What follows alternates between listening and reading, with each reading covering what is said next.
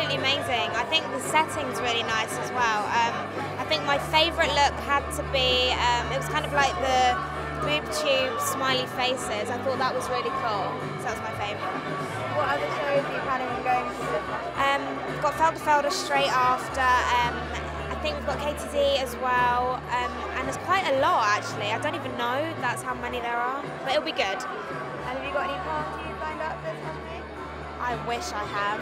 If there's a party that I get, I I can actually go to, then I will go. But it's all work.